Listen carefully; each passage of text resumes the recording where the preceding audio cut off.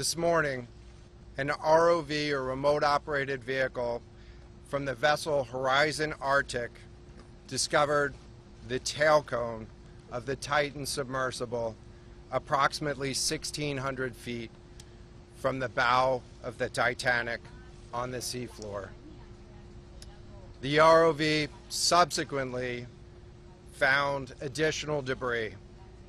In consultation with experts from within the Unified Command, the debris is consistent with the catastrophic loss of the pressure chamber.